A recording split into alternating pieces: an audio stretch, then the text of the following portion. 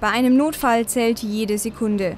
Und um den Bürgern in und um Salzweg besonders schnell helfen zu können, gibt es seit vergangenem Jahr das First Responder Team.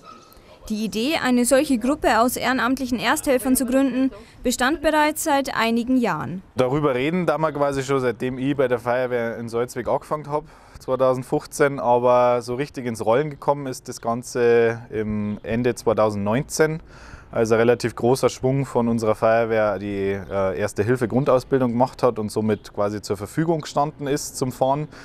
Und dann haben wir das Ganze an die Gemeinde Salzweg getragen. Der Fabian Pernpointen und der Markus Fürst sind im Jahre 2019 an mich herangetreten und haben den Wunsch geäußert, hier dieses First Responder Fahrzeug zu etablieren. Wir sind in den Gemeinderat reingegangen und wir haben einen einstimmigen Beschluss gefasst, das zu ermöglichen. Gestartet wurde mit acht ehrenamtlichen Helfern. Vor ein paar Wochen konnte bereits das elfte Mitglied den Dienst antreten. Im Jahr 2020 mussten die Ersthelfer zu insgesamt 212 Einsätzen ausrücken.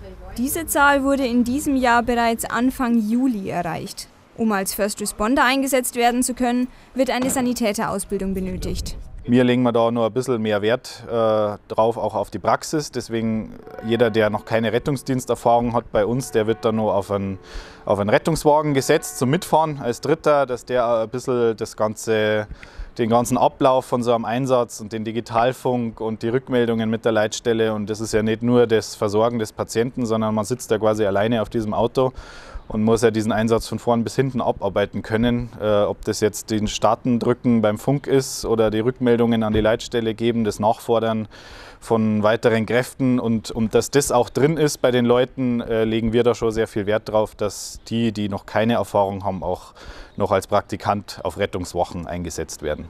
Die meisten Einsätze erfolgen tagsüber. Es gab aber auch schon Nächte, in denen ein Einsatz dem nächsten folgte, erinnert sich Fabian Pernpointner. Was dabei auf die Responder zukommt, erfahren sie meist erst vor Ort.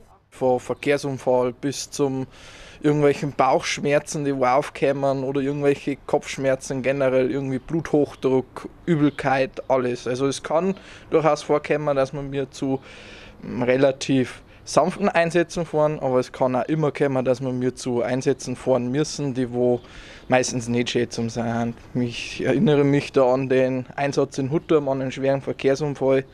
Ähm, der war, da war ich dabei, das war nicht gerade das Schönste zum Singen, aber man muss halt auch damit rechnen und damit leben. Und genau solche Unfälle bleiben oft lange in Erinnerung.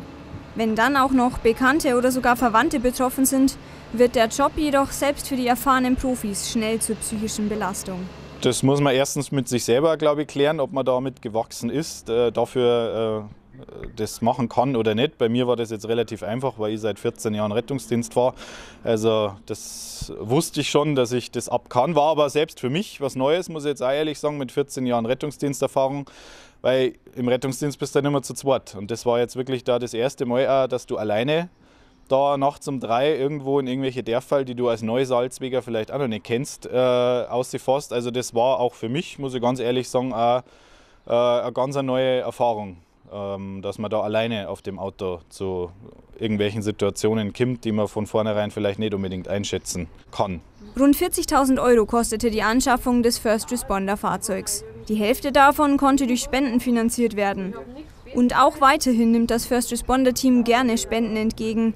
Denn natürlich muss auch die Ausrüstung gewartet oder ausgetauscht werden, damit im Notfall die Hilfe schnell ankommt.